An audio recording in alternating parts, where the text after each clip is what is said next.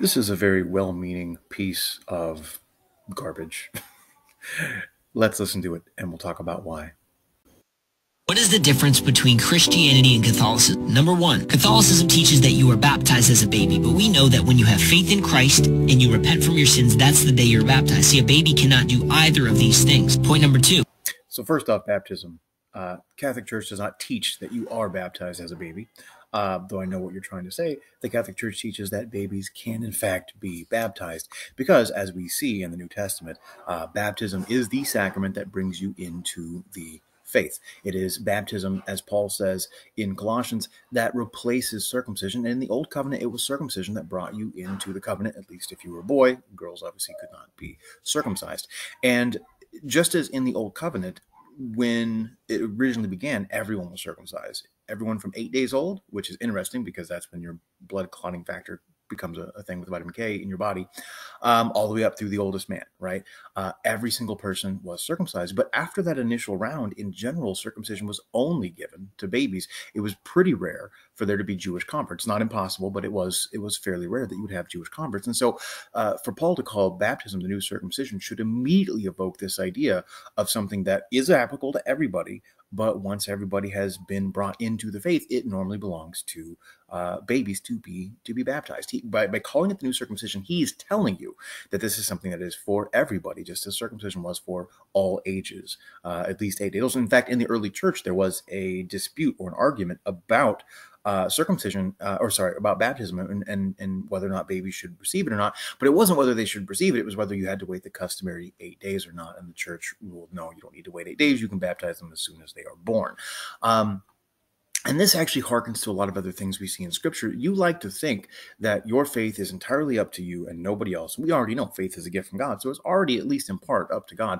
But what scripture tells us in lots of different places is everybody has a role in other people's salvation. That's why in, in Mark chapter 2, when they bring the paralytic to Jesus, what it says is when Jesus saw their faith, the faith of the men bringing the, the paralytic to Jesus, he says to the boy, Your sins are forgiven. That boy's sins were forgiven based on the faith of his friends. And in, in 1 Corinthians 7, Paul tells us that the unbelieving spouse is made holy by the believing spouse. Catholicism teaches that you can pray to angels, you can pray to Mary, but we know that in Christianity you pray to God and God alone because there's one mediator between man and God, and that is Jesus Christ. Point number. So Catholicism teaches that the body of Christ is one. And Paul teaches in the Bible that we all are intercessors for each other. We all should be praying. In fact, you give us the quote uh, from First Timothy 2 uh, that there's one mediator between God and man, Jesus Christ. But if you read the four verses right before that, it says we are all to be intercessors, which is a lower form of mediatorship in a sense. We are all to be praying for everyone, including secular rulers, in Paul's own words, right? Because God wills the salvation of all. And if you read Revelation, it shows you in Revelation, I think it's 5 3 and 8 5, uh, both the elders in heaven and the angels in heaven presenting this, the prayer of the saints on earth as incense to God. So they have a role in helping us to present our prayers to God. And so, as Catholics, it's no different when we ask the body of Christ that is in heaven uh, that have gone before us, who fought the good fight, uh, because the, the, prayers of the righteous availeth much, as James says. It is no different uh, to ask them to pray than it is for me to ask you to pray for me. And the word prayer uh, in English can have different meanings. And in modern Protestant English, it tends to be synonymous with the phrase worship. But the word pray just means ask. Pray tell me. Did you think prayer and worship were always the same? Because they're not. Your Honor, the the the defendant prays the court to have mercy, right? Effectively, you say, Your worship, the defendant, prays the court to have mercy. It means to ask. It's all it means. And so when we pray to Mary or pray to the saints, what we're really doing is asking them to pray with us, just as if I ask you to pray with me or to pray for me. Three, Catholicism teaches this thing called purgatory, and it's a place that you go to to be cleansed before you enter heaven. But we know that if Jesus dealt with our sin on the cross once and once for all, we don't need to be cleansed anymore. He's paid for it all. He's made us righteous, he made us blameless, and he made us holy. This again is a distortion of the biblical message, right? Because at the end of the day, what Jesus did was the complete work of what needed to happen in order for our entire salvation and sanctification to happen. But sanctification is a process that we begin in this life and is not completed in 99.9% of us in this life. And the way you can know this is do you still struggle with any kind of sin at all? Do you still struggle with any kind of temptation at all? Or are you actually literally perfect and could be no better in this life? Because if you are actually literally perfect in this life and could be no better, then bully for you, but most of us are just not there. The lived experience of humanity tells you we struggle with sin. That's why we see in Scripture a number of things, including, uh, and I'll, I'll, mention this in the next point you're going to say, uh, what James talks about. Uh, he tells uh, you know, the, the, people to confess their sins to one another. Um, he speaks of the anointing of the sick, and he says, uh, if anyone is anointed, and he's speaking to the church about this, their sins will be forgiven. We have sins. And John tells us if we say we have no sin, we are liars, right? So we still struggle in this life with sin, but in heaven, there will be nothing imperfect. There will be nothing unclean in heaven.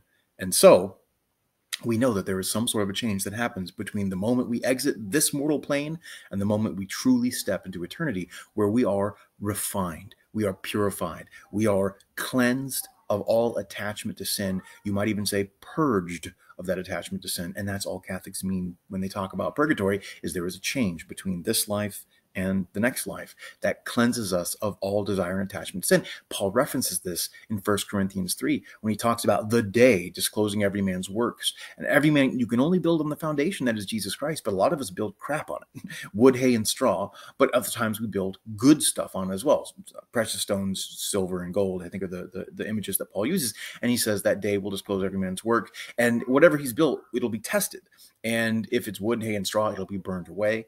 And if it's the good stuff, it'll be refined. It'll be there. And that's what we even see in scripture. God is called a, a refining fire in a lot of ways, right?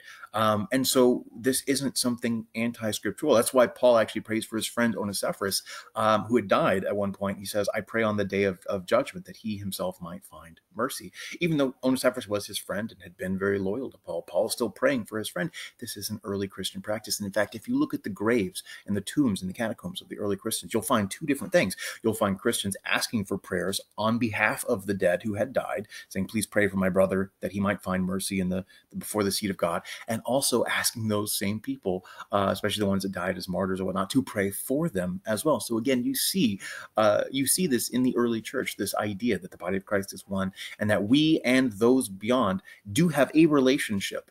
Um, and we see that again in lots of places in Scripture. In fact, I have an entire video all about uh, the idea of, of the saints and prayer to us and how innate this is to Scripture, but how you can easily miss it if you're not well versed. Point number four Catholicism teaches that you need to go see a priest to be forgiven, and it's called confession. And see, we know that through Jesus Christ, we have direct access to God. We do not need to see another person to be forgiven. Except that's not what Jesus says. In fact, Jesus, uh, after he's resurrected, meets with his 11 remaining apostles. Judas obviously is not with them. And he says, As the Father sent me, so I send you. This is in John 20, 21. Uh, As the Father sent me, so I send you. He breathes on them and says, Receive the Holy Spirit. Whoever sins you forgive are forgiven, and whoever sins you retain are retained. Now, in order to retain sins or forgive sins, you got to know what they are. So this is right there explicitly confession. Uh, and then again, we see James referencing this as well. He says, confess your sins to one another. That does not mean that when we do wrong, we shouldn't immediately uh, confess to God. We, we should. In fact, the church teaches this. You should always immediately, upon falling into sin, confess your sins to God, make an amends, seek to do right. But Jesus knows that we struggle with sin. And even after baptism, even after receiving faith, we're going to struggle with sin. And so he gives us basically uh, what we need. It, it, it's it's in fact, I'm told that Sigmund Freud modern, modeled the idea of psychoanalysis on confession because he found that his uh, Catholics and he was an atheist, right? But he said the Catholics seemed to be better adjusted than the Protestants, and he reasoned that it was because they did this confession thing. And while he thought there was no merit in the sacramental side of it, obviously, uh, he thought that there was something to be said about uh, you know the, the, accountability of of speaking your sins out to someone else and hearing the words you are forgiven. Now for him it was just talking through your problems right? But if jesus is the divine physician so much more jesus is also the divine psychologist. He knows what we need. He knows we need to hear that. And so he gives us these sacraments which are conduits of grace in this life that we through our participation in grace receive more grace. And lastly, I would say Catholicism is a mix between man's tradition and the Word of God, whereas Christianity is based solely upon the Word of God. No, no, it's not. And I can prove that to you really, really quickly. Um, when Jesus is ascending into heaven, he doesn't lean over the cloud and say, by the way, there's going to be 27 books written. And those 27 books are going to be Matthew, Mark, Luke, John, Romans, etc., etc., etc., right? Nowhere in Scripture can you find Scripture telling you that Scripture alone is your authority. And nowhere in Scripture can you find anything that tells you what books belong in Scripture. To even appeal to the New Testament, which the earliest church didn't have, is to make an appeal to the tradition of that same church that you're trying to reject. And in fact, if you can't fathom your church functioning without a New Testament, then your church is not the New Testament church because the New Testament church functioned without a New Testament. That's all I got to say.